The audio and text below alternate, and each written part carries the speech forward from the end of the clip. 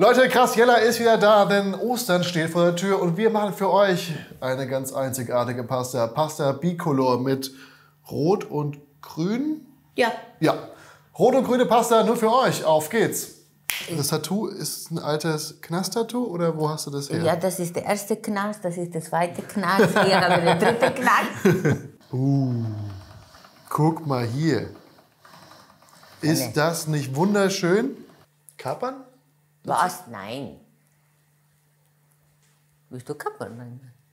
Nein. Mhm. Mhm. Mhm. Immer gut. Mhm.